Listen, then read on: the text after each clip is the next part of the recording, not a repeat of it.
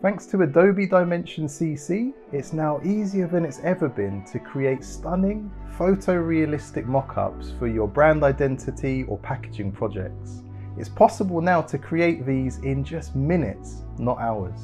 The advantage of a mock-up is that you get to avoid the high cost of a physical sample and you can easily explore options and share examples with your clients in the early stages of the design process, removing any guesswork. Now something that may have held you back in the past is the seeming complexity of 3D modeling. But I promise you, Adobe Dimension is so easy to use that even with no prior experience, you'll be creating incredible mock-ups very soon.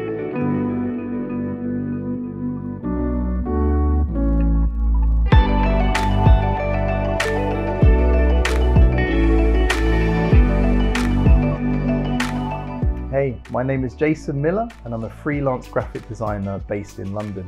Although I'm London based, I've had the privilege of working for clients all across the globe. I specialise in brand identity design and I've been doing this successfully as a freelancer for over 12 years now. This class is designed to get you up and running with Adobe Dimension as quickly as possible. We'll cover the essentials you'll need to navigate through the software and start bringing your packaging and branding artwork to life. We'll look at just enough that you know exactly what you're doing, but we won't bog you down with any unnecessary details. Toward the end of the class, I'll cover some slightly more advanced techniques that you can use if you wish to create something with even greater complexity.